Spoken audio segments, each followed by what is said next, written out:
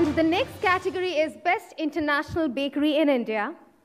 The award goes to Red Moon Hospitality Private Limited. A big round of applause, everybody, for Mr. Abhishek Gier, who's the director, Mrs. Angelica Samuel Guire, who's the director, and Miss Rohini Benjamin, who's the operation manager, to please join us on the stage.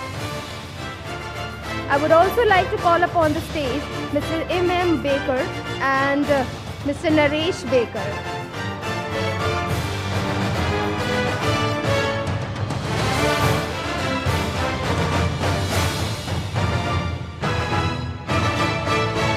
Let us hear it everybody once again for Red Moon Hospitality Private Limited.